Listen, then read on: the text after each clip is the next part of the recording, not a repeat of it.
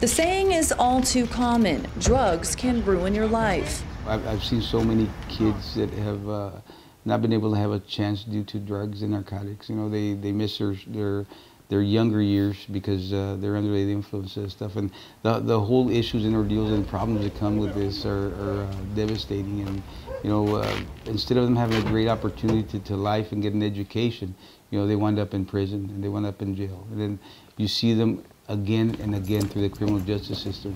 You know, we need to give uh, everybody a chance to do their best, not to be hooked on drugs. And you know, th that doesn't belong here. It doesn't belong anywhere. You know, uh, within the county or anywhere else. But the reality is that this is here, and we need everybody's help to get rid of it. Rio Grande City police have responded to several burglaries over the last couple of weeks. These types of crime do increase during the holidays, but Chief Castillo believes that drugs play a big role. If we, we have a burglary that occurs in, the, in this, within the city, for the most part, we have a crack house somewhere. Last Friday, RGCPD executed search warrants on several suspected drug houses in town. These two were neighbors. Uh, this is something that's going to continue.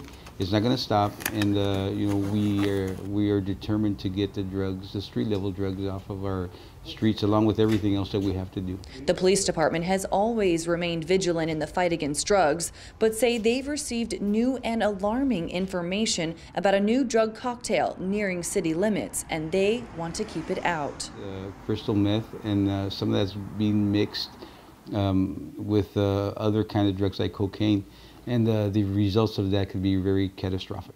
If you or a loved one is suffering from a drug problem, you can call the National Substance Abuse and Mental Health Services hotline at 1 800 662 HELP. That's 1 800 662 4357.